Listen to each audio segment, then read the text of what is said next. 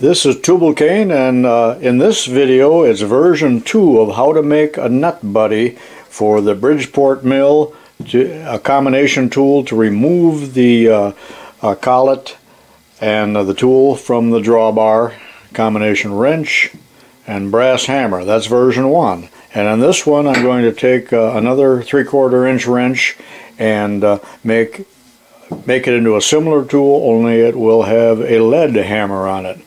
Now if you haven't seen a version 1 be sure and go back and watch that. This is version 2. Gremlins got into my camera and removed the video clips and that was the clip of me drilling uh, the eighth inch pilot hole in the wrench using a solid carbide drill bit and it drilled like it was butter. Then I went in with the second bit, uh, which was a quarter inch high-speed steel bit, and that wouldn't even begin to uh, resize the hole. So now I'm going over to the Bridgeport mill and I'm using a solid carbide end mill to enlarge the hole to uh, 1 4th inch. The quarter inch bit wouldn't even begin to uh, faze this tool steel so with that eighth inch pilot hole in there, I am now in the milling machine and that's a quarter inch uh, solid carbide uh, end mill. And let's see how that does as far as opening that hole is concerned. It's a four fluter, but remember I have a, a pilot hole. So let's give that a try.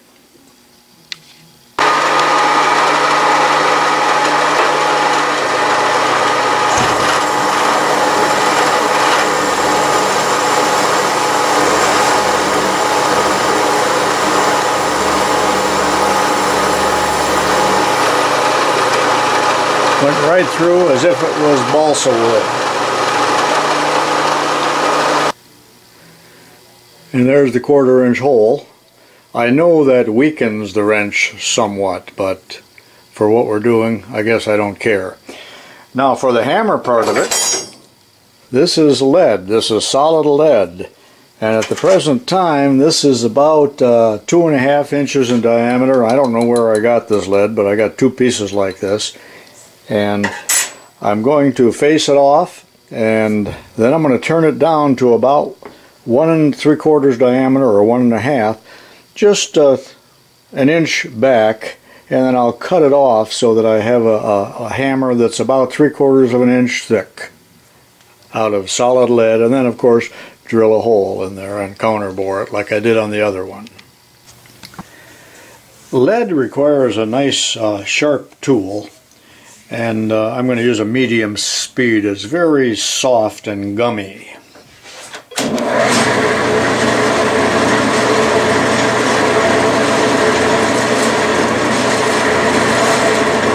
Whatever I do, I don't want to cause that work to slip in the chuck.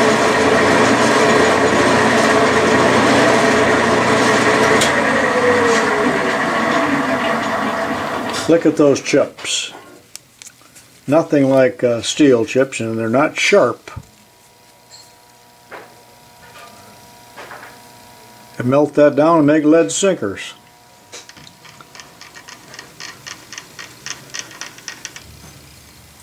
And that's already good enough for a lead hammer.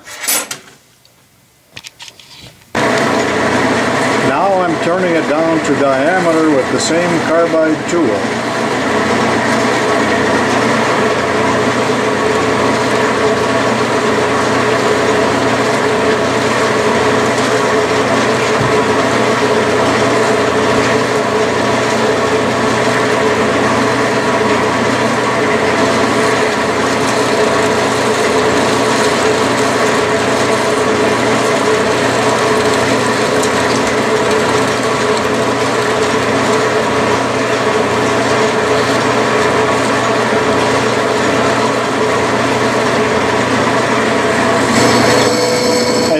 tools to a high-speed steel tool and I like this a little better for coming up uh, against the shoulder and this will probably be my last pass. It's starting to go on but just barely and boy is this lead soft.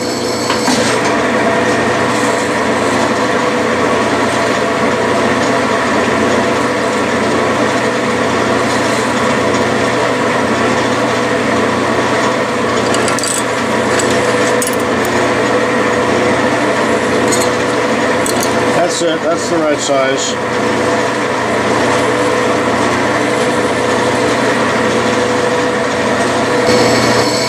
Now I'll put a nice chamfer on there uh, with the carbide bit, which will be 60 degrees.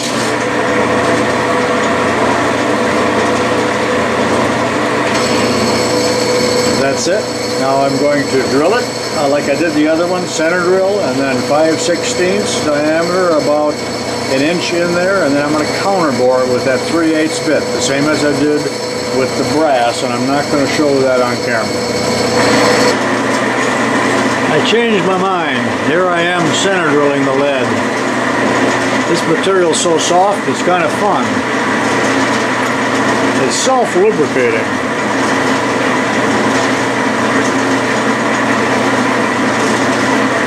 Now for quarter inch. Here's the 1 4th bit. I'm going in 1 inch.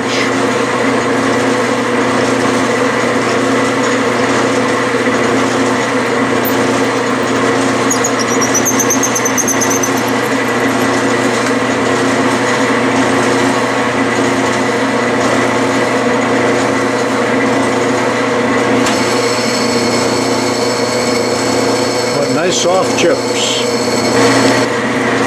This is the 3 8 for the counterbore.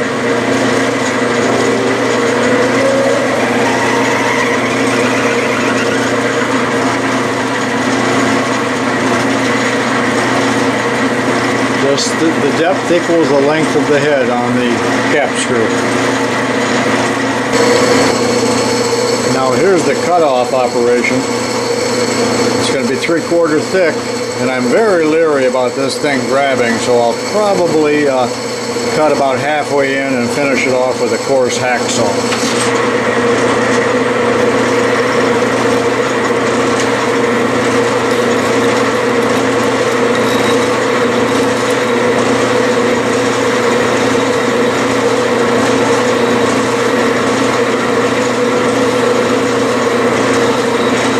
That's as far as I'm going. I'll finish it with a hacksaw. That was a minute and a half to saw through that. And I did not have the machine revolving. That was just uh, standing still. And a very coarse blade. I don't know where I got this, but it looks like it's about uh, 12 teeth or so on this hand hacksaw. However, the finish is terrible, so I will see what I can do about facing this off, but I don't want to leave chuck marks on it. Not that it matters because this will soon get beat up. But for some reason I want it to look fairly pretty when this job is finished. There it is. It weighs at 11 ounces. I just weighed it on a postal scale. You know, there's just no way of holding this without putting marks on it. So there's the chuck marks, which I anticipated. And as the burrs come around on the back side, you know, it's just hard to get them off without scratching or leaving a, a mark on it, but it is just a hammerhead. I got a bit of a chamfer on there. It'll be really beat up after just uh, several uses. It is now bolted on and my last step is to saw or grind this off uh, flush. I'll do that now. Quite heavy. I cut the hardened cap screw off with a Remington rod saw, tungsten carbide. It works great. And then took it to the abrasive belt, cleaned it off, and the lead nut buddy is done. You know what these remind me of? Those of you that uh, did automotive work, and uh, there was a hammer and uh, a multi-use tool that was used with tire balancing that where you could pry off the old weights and hammer on the new ones all with one tool. The similarity, maybe that's what inspired me. But uh, there we are, I got a lead one and a brass one on a three-quarter inch wrench. Now I'm not going to take this over and beat it up right now. If you want to see how these are used, look back in the uh, version 1 video of the Nut Buddy and uh, you'll see how I actually use this to loosen uh, the collet and the drawbar. Hope this is an idea that uh, some of you can put to use. This is Tubal Cain saying, so long for now.